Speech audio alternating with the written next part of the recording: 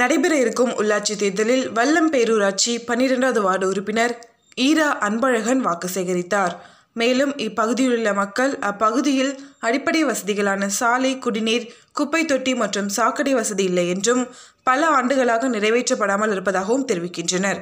இது குறித்து இப்பகுதி வேட்பாளர் ஈரா அன்பழகிடம் கேட்டபொழுது அவர் கூறியதாவது சாலை வசதி குடிநீர் அடிப்படை வசதிகள் மற்றும் கல்வி கற்கும் மாணவ மாணவிகளின் நலன் கருதி கொண்டு இலவச ஒய்ஃபை ஜோன் அமைக்கப்படும் என்பதும் தெரிவித்துள்ளார்.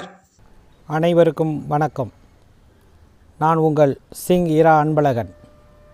நடைபெற இருக்கின்ற நகர்ப்புற உள்ளாட்சி தேர்தலில் வல்லம் பேரூராட்சி எல்லைக்குட்பட்ட பனிரெண்டாவது வார்டில் திராவிட முன்னேற்றக் கழகத்தின் சார்பில் போட்டியிடுகின்றேன். நான் ஒரு எம்பிஏ பட்டதாரி. நான் Rotary Club of Thanjavur granary என்ற ரோட்டரி சங்கத்தின் செயலாளராக பணியாற்றி வருகின்றேன். கடந்த முப்பது ஆண்டுகளுக்கு மேலாக திராவிட முன்னேற்ற கழகத்தில் எங்கள் குடும்பம் இணைந்து செயல்பட்டு கொண்டு இருக்கிறது வள்ளத்தை பொறுத்தவரையில் சிங் குடும்பம் என்பது ஒரு பாரம்பரியமான குடும்பம். அந்த குடும்பத்தை சார்ந்தவன் என்கிற முறையில் இந்த பகுதியில் அதாவது இந்த பனிரெண்டாவது வார்டு என்கின்ற இந்த பகுதி என்பது அடிப்படையில் மக்கள் பணியாளர்களாக வேலை செய்யக்கூடிய சாதாரண ஏழை எளிய மக்கள் வசிக்கக்கூடிய இந்த பகுதி தான் பன்னிரெண்டாவது வார்டு. இதை உள்ளடக்கியது இந்த ஐயனார் நகர் என்கிற இந்த பகுதி high school road MGR Nagar. இங்கெல்லாம் பார்த்திங்கன்னா தினசரி வேலைக்கு போகிறவங்க அன்றாட கூலி தொழிலாளர்கள் அதிகபட்சம் தொண்ணூறு சதவீதம் அவங்க தான் இருக்காங்க. கொத்தனார் கொத்தனார் வேலைக்கு போகிறவங்க சென்ட்ரிங் வேலைக்கு போகிறவங்க மீன்பிடி தொழிலில் இருக்கிறவங்க மற்றும் வந்து சமையல் வேலைக்கு போகிறவங்க வீட்டு வேலைக்கு போகிறவங்க ஈயம் பூசும் பணி செய்கிறவங்க இப்படி இருக்க அதிகம் வசிக்கக்கூடிய இந்த பகுதியை நான் ஏன் தேர்ந்தெடுத்திருக்கேன்னா அடிப்படை வசதிகளை நம்ம செஞ்சு கொடுக்கணும். கடந்த பத்து ஆண்டுகளுக்கு முன்னாடி நம்ம கலைஞருடைய ஆட்சியில் தான் இங்கே இந்த பகுதியில் அனைத்து மக்களுக்கும் நானூற்றி இருபத்தி ஒம்பது இலவச பட்டாக்கள் வழங்கப்பட்டன. அதற்கு பிறகு ப கடந்த பத்து வருஷத்தில் இங்கே யாருக்குமே பட்டா வழங்கலை. எல்லோரும் புறம்போக்கு நிலத்தில் எப்படா காலி செய்ய சொல்லுவாங்களோங்கிற பயத்திலே வாழ்ந்துக்கிட்டு இருக்காங்க. இப்போ மறுபடியும் நம்ம திமுக ஆட்சி தலைவர் தளபதி ஆட்சி பண்ணிக்கிட்டு இருக்காரு. அந்த ஆட்சியில் மறுபடியும் இங்கே பட்டாவுக்கு விண்ணப்பித்திருக்கிறவங்க நிறைய பேர் விண்ணப்பித்து காத்துக்கிட்டு இருக்காங்க. அவங்களுக்கு முதல்ல பட்டா வாங்கி கொடுக்கணும் அப்படிங்கிற எண்ணத்தில் இந்த வார்டை நான் தேர்ந்தெடுத்திருக்கேன். இந்த வார்டில் பார்த்திங்கன்னா இளைஞர்கள் அதிகமாக இருக்காங்க. அந்த இளைஞர்களுக்கு ஒரு நல்வழி காட்டணும். ஒரு விளையாட்டு மைதானம் இந்த பகுதியில் அமைச்சு கொடுக்கணும் அப்படிங்கிற ஒரு நோக்கம் இருக்குது ஏன்னா இளைஞர்கள் இப்போ உள்ள கால சூழ்நிலையில் தவறான வழிக்கு போகிறதுக்கு நிறைய வழிகள் இருக்குது அதை தடுத்து நிறுத்தணும்னா அவங்களுக்கு ஒரு விளையாட்டு மைதானம் உடற்பயிற்சி கூடம் இங்கே நம்ம செஞ்சு கொடுக்கறதுக்கு நம்ம அதுக்கான ஏற்பாடுகளை நான் செஞ்சுக்கிட்டு இருக்கேன். அதன் பிறகு பார்த்திங்கன்னா இங்கே குடிநீர் வசதியே கிடையாது. ஏன்னா இது ஒரு மலைப்பிரதேசம் மாதிரி இருக்கும்.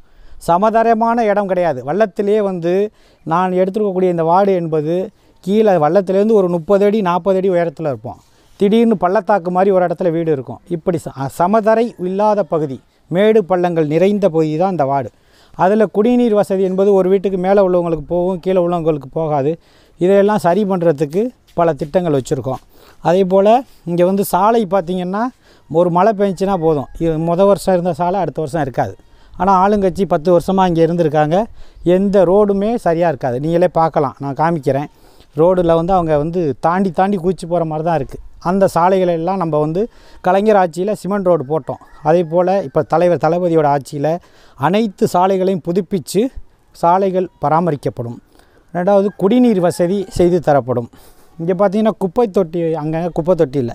மக்கள் அவங்க ஏழை எளிய மக்கள் அவங்களுக்கு வந்து தெரியாது எப்படி பண்ணணும் போகணுன்னு அதனால் தெருவுக்கு ஒரு குப்பை தொட்டியை வச்சு எப்படி குப்பைகளை பராமரிக்கணும் எந்தெந்த குப்பையை எப்படி பிரித்து பண்ணணும் அப்படி ஏன்னா இந்த பகுதியில் தான் கம்போஸ் யார்டே இருக்குது பஞ்சாயத்து போட கம்போஸ் யார்டே இங்கே தான் இருக்குது ஆனால் இங்கே தெரு தெருவுக்கு குப்பை தொட்டியே இல்லாதனால எல்லாம் குப்பையை தெருவிலே போடுறாங்க.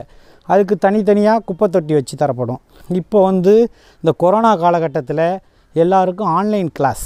சின்ன பிள்ளைங்கள்லேருந்து காலேஜ் படிக்கிறவங்களுக்கு ஆன்லைன் கிளாஸ். இங்கே எல்லாமே ஏழை எளிய மக்களுங்கிறதுனால அவங்களால அந்த ஆன்லைனுக்கு உரிய அந்த வைஃபை டேட்டாஸை வாங்க முடியலை. அதுக்காக நான் என்ன ஒரு திட்டம் வச்சுருக்கேன்னா இங்கே ஒரு பொதுவான இடத்த இங்கே பிடிச்சி அந்த இடத்துல உயர் அழுத்தமாக ஹை ஸ்பீடில் வைஃபை வச்சு கொடுத்து அவங்க படிக்கக்கூடிய பெண்களாக இருக்கட்டும் குழந்தைகளாக இருக்கட்டும் எல்லோரும் அந்த இடத்துல வந்து அவங்களுடைய கணினியை இயக்கிக்கலாம் செல்ஃபோனை இயக்கிக்கலாம் எல்லாமே இலவசமாக அந்த திட்டத்தை கொடுத்து படிப்பை படிப்பில் இவங்களை முன்னேற்றத்திற்கான ஒரு மிகப்பெரிய திட்டத்தை நான் கையில் வச்சுருக்கேன். அதன் பிறகு பார்த்திங்கன்னா மகளிர் சுய உதவி குழுக்கள் இங்கே நிறையா இருக்காங்க. அவங்களுக்கு யாரை போய் அப்ரோச் பண்ணணும்? எங்கே கடன் வாங்கணும் இந்த மாதிரியெல்லாம் தெரியலை. அவங்கள அப்ரோச் பண்ணி அவங்களுக்கு எந்தெந்த வங்கியில் கடன் பெற்று கொடுக்கலாம் என்னென்ன தொழிலுக்கு அவங்களுக்கு ட்ரைனிங் கொடுக்கலாம் அப்படிங்கிறதெல்லாம் சொல்லி அவங்களுக்கும் ட்ரைனிங் கொடுக்கறதுக்கு நம்ம ஆ- ஆர்வம் ஆர்வமாக இருக்கும். ஒன்றே ஒன்று தளபதியோட ஆட்சி பத்து ஆண்டுகளுக்கு பிறகு வந்திருக்கு. தலைவர் தளபதி எப்படியுமே பெண்களுக்காக முன்னுரிமை கொடுப்பவர். வந்ததுமே பெண்களுக்கு இலவச பேருந்து கொடுத்தாரு. அதை பயன்பற்ற மக்கள் இங்கே அதிகம் உள்ளவங்க தான் அதை பயன்படுத்துகிறாங்க ஏன்னா கூ கூலி தொழிலாளிக்கு எல்லாமே தஞ்சாவூருக்கு போவாங்க பக்கத்து பக்கத்து ஊர்களுக்கு போகிறவங்கெல்லாம் நகர பேருந்தை பயன்படுத்தி பயன்பெற்றிருக்காங்க. அந்த ஒரு எண்ணத்தில் நான் இந்த இடத்துல நான் வாக்கு கேட்டு நிற்கிறேன் வள்ளத்தில் பனிரெண்டாவது வார்டு பேர் சொல்லத்தக்க வார்டாக நான் மாற்றணுங்கிறது என்னோட குறிக்கோளாக வச்சுருக்கேன். அதற்கான முயற்சி அத்தனையும் நான் எடுப்பேன்னு உறுதி கூறுகிறேன். இந்த என்னுடைய பேர் வந்து விஜயலட்சுமி. நான் மலைமேல் ஐயனார் கோயிலுக்கு வந்து கிட்டத்தட்ட மூணு வருஷம் ஆகுது. இங்கே வந்து தண்ணிக்காக அவ்வளோ பிரச்சனையாக இருக்குது. எப்போ பார்த்தாலும் தண்ணி வர பிரச்சனையாக இருக்குது. சாலை பிரச்சனை அதிகமாக இருக்குது பைப்புகளை பழுது பார்க்குறேன்னு சொல்லிட்டு அவங்க பாட்டு குழிய குழியே நோண்டி நோண்டிட்டு போயிடுறாங்க மழை பெஞ்சால் தண்ணி அந்த சைட்லேருந்து போக மாட்டேங்குது. ஒருத்தவங்க வீட்டிலேருந்து தண்ணி ஒருத்தர் வீட்டுக்கு போயிடுது. அப்புறம் மகளிர் குழு விரிவுபடுத்தணும்னு சொல்லி ஒரே மும்முரமாக இருக்காங்க. இங்கே வந்து பெரும்பாலும் கூலித்தொழில் வேலை பார்க்குறவங்களாம் இருக்காங்க. அதுவும் பெரும்பாலும் பட்டதாரியாக இருக்கவங்களுக்கு இங்கே எந்தவித வசதியும் கிடையாது. போன ஆட்சியில் அது செய்கிறேன் இது செய்கிறேன்னு சொல்லி எதையுமே செய்யவே இல்லை. இங்கே த தண்ணீர் பிரச்சனை இருந்தாலும் படித்த இளைஞர்களுக்கு ஏதாவது ஒரு வேலை முகாம் பகுதியை வந்து வளர்ச்சி அடைய என்னன்னு உள்ளவங்களுக்கு ஓட்டு போட்டால் நல்லா வளர்ச்சி அடையும். வளர்ச்சி அடையணும் என்ன இல்லாமல் சும்மா மேம்பாக்காக பேசி போட்டவங்க போட்டால் அது சரியாக வராது. இந்த ஆட்சியில் முதல்வர் சொன்ன மாதிரி அவர் எல்லா செயலையும் செய்துட்டு இருக்காரு. இவங்களும் செய்வாங்க வரவும். அதுக்கு நம்பிக்கை தரும். நன்றி வணக்கம். வணக்கங்க. நாங்கள் இங்கே முப்பது வருஷமாக இருக்கோம். என் பேர் ரெஜியா பேகம் பள்ளத்தில் இங்கே குப்பை கொட்ட வசதியே இல்லைங்க. நாங்கள் இங்கேருந்து அங்கிட்டு போகணும் குப்பை கொட்டுறதுக்கு குழியெல்லாம் நோண்டினா மூட மாட்டேங்கிறாங்க பஞ்சாயத்து போர்டில். பிள்ளைங்கள்லாம் அதில் கீழே வந்து உழுவுது. இந்த ஒரு வசதியெல்லாம் எங்களுக்கு பண்ணி தரணுங்க. தண்ணி அடிக்கடி உடஞ்சி உடஞ்சி போகுது. ரெண்டு நாளைக்கு ஒரு தடவை தண்ணி சரியாக வர மாட்டேங்குது. அதெல்லாம் பார்க்கணும். ரோடெல்லாம் போட்டு கொடுங்க. பள்ளம் மேடாக இருக்குது பத்து வருஷத்துக்கு மேலே ஆகுது இந்த ரோடெல்லாம் போட்டு. வல்ல தமிழரசன் நீண்ட காலம் எவ்வளோ காலமாச்சு? நாங்கள்லாம் வந்து ஒரு முப்பது நாற்பது ஆண்டுக்கு மேலே இருக்கிறோம். எங்களுக்கு அடிப்படை வசதி எதுவுமே செஞ்சு தரல. எத்தனை பேர் வந்தவங்க என்னென்னா சொன்னாங்க போகலை.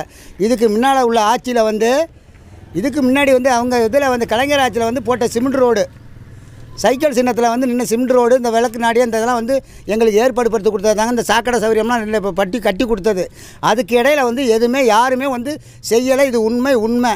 நாங்கள் வந்து இன்றைக்கி சொல்கிறோம் எல்லா இடத்துக்கும் ஒரு காலனி ரெண்டு காலனி பத்து காலனி கட்டி கொடுத்துறாங்க. வருங்க எங்களுக்கு அடிப்படை வசதி ஒன்றுமே இல்லை. அடிப்படை வசதி வல்லம் பேரூராட்சிலையும் கட்டி தரல. வரவங்க சொல்லிட்டு போகிறாங்க இந்த மேலே இருந்து அடைச்சி விட்டாங்க அவங்க இதில் உள்ளதில். இப்போ தண்ணி தூக்கிறதுக்கு வெளியே போகிறதுக்கு எங்களுக்கு இடைஞ்சலாக இருக்குது ஐயா நீங்கள் எந்த கோரிக்கை பார்த்து செய்கிறீங்களோ செய்யலை. யாராக இருந்தாலும் மனசாட்சிக்கு நாங்கள் செய்கிறோம் செய்கிறோன்னு சொல்லிட்டு போகிறது தான் அப்புறம் அவங்கள வேலையை தான் கட்டுறாங்க. இருக்கப்பட்டவங்க செய்கிறாங்க கொஞ்சம் இல்லாதப்பட்டவங்க தொடச்சி போட்டுடுறாங்க. இதுன்னு இல்லை எது இருந்தாலும் செய்கிறேன்னு சொல்கிறவங்களே அதுதாங்க நான் யாரையும் மன பார்க்கல ப இது பண்ணலைங்க. என்ன?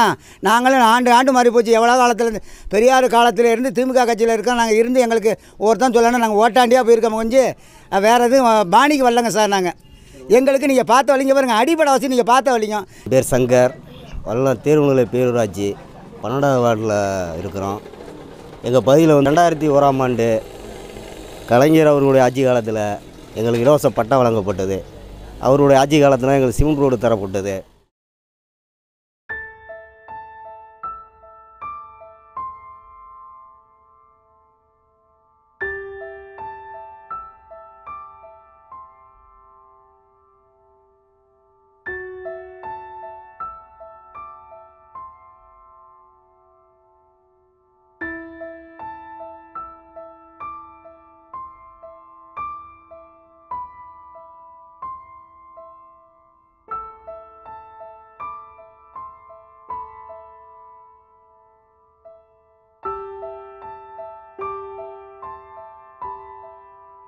அடுத்த செய்திகளை நீங்கள் அறிந்து கொள்ள தஞ்சாவூர் டேட்டாபேஸ் யூடியூப் சேனலை சப்ஸ்கிரைப் பண்ணுங்கள் ஷேர் பண்ணுங்கள் வாட்ச் பண்ணுங்கள்